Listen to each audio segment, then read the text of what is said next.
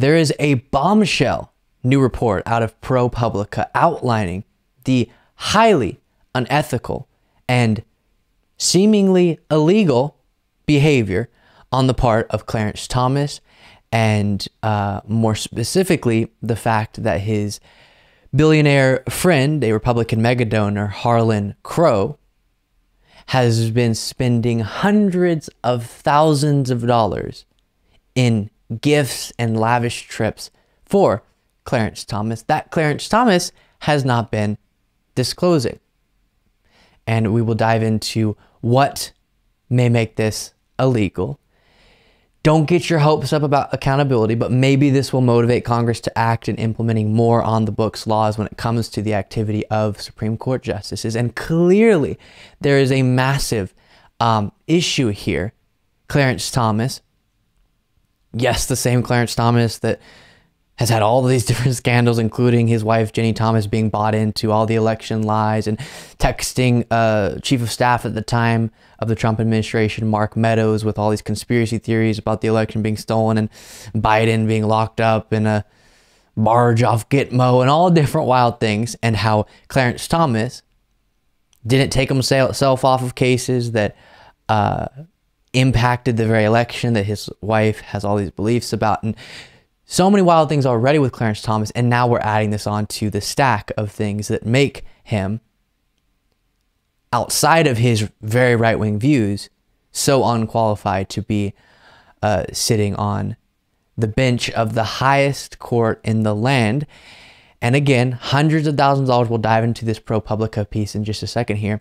Spent wining and dining him in the bougiest way, I guess you could say, and he wasn't disclosing it as he should have been.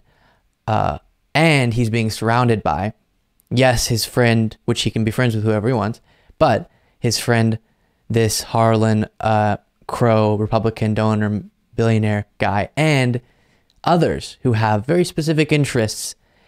And it would be very beneficial to them to have someone like Clarence Thomas, as powerful as he is, aligned with them.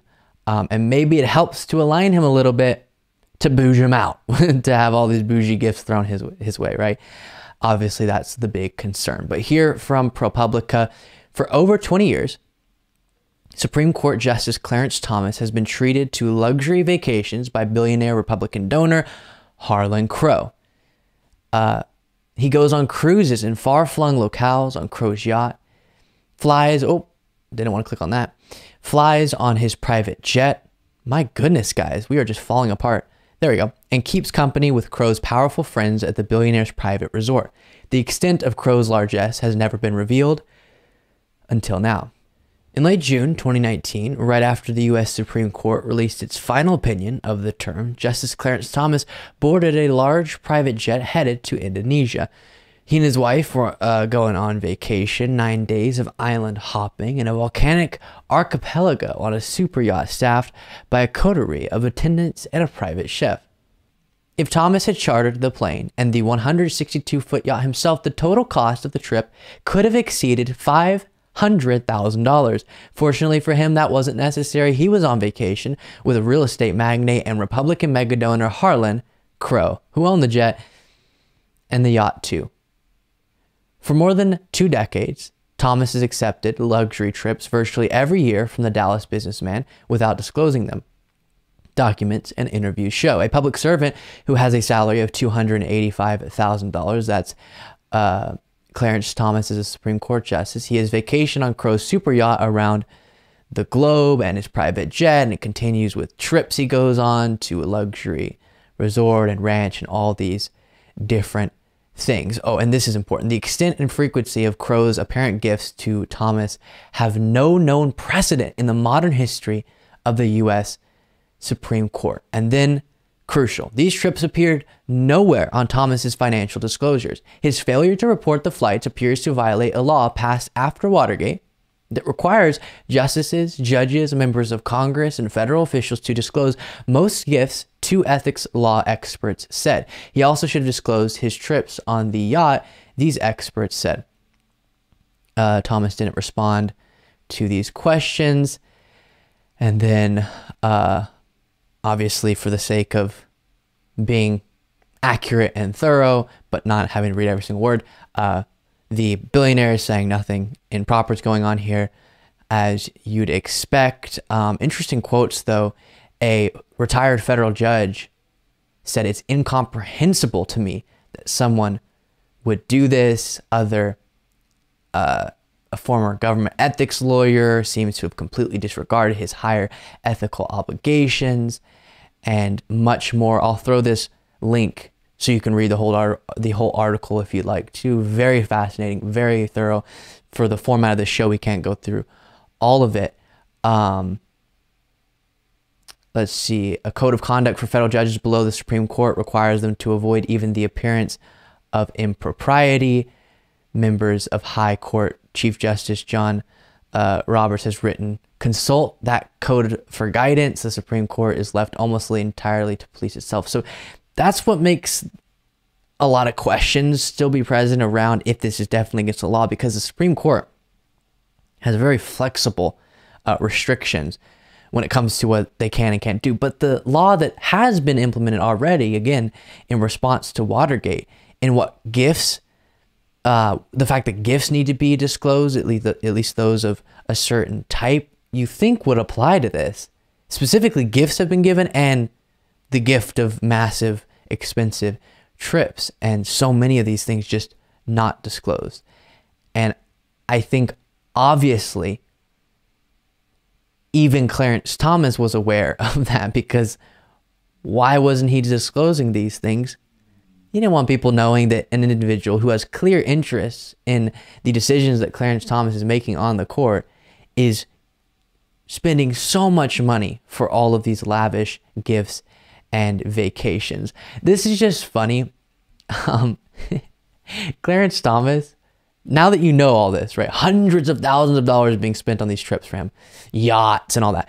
Um, he, in a recent documentary or a documentary that's discussed in this piece that Crow helped to finance said this quote i don't have any problem with going to europe but i prefer the, the united states and i prefer seeing the regular parts of the united states. I prefer the rv parks. I prefer the walmart parking lots to the beaches and things like that. There's something normal to me about it.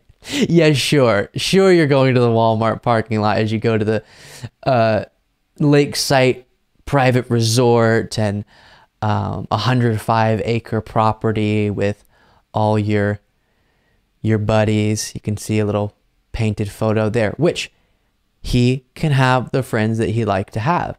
But he shouldn't be having them spend tons of money on his behalf and not disclosing that information. One other note during just one trip in July 2017, Thomas's fellow guests included executives at Verizon and PricewaterhouseCoopers, major Republican donors, and one of the leaders of the American Enterprise Institute, a pro business conservative think tank, according to records reviewed by ProPublica. The painting of Thomas at Topridge shows him in conversation with Leonard Leo, the Federalist Society leader regarded as an architect of the Supreme Court's recent turn to the right. So if they're saying, no, this is just authentic friendship, we just love chucking money at um, Clarence Thomas, they would at least have to admit when you have someone as powerful and influential as Clarence Thomas being surrounded by individuals with a very clear set of interests that are very relevant to the power that Clarence Thomas has.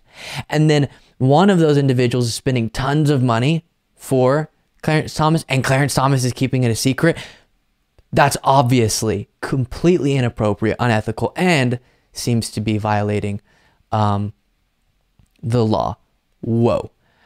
One thing I want to uh, look at here before we wrap this segment up the chair of, um, let me see here. This is the chair of the Judiciary Committee in the Senate, Dick Durbin, released a statement and I think this is absolutely correct. The highest court in the land shouldn't have the lowest ethical standards. Today's ProPublica report reveals that Justice Thomas has for years accepted luxury travel on private yachts and jets and a litany of other gifts that he failed to disclose. This behavior is simply inconsistent with the ethical standards the American people expect of any public servant, let alone a justice on the Supreme Court. Quote, today's report demonstrates yet again that Supreme Court justices must be held to an enforceable code of conduct, just like every other federal judge. The ProPublica report is a call to action, and the Senate Judiciary Committee will act.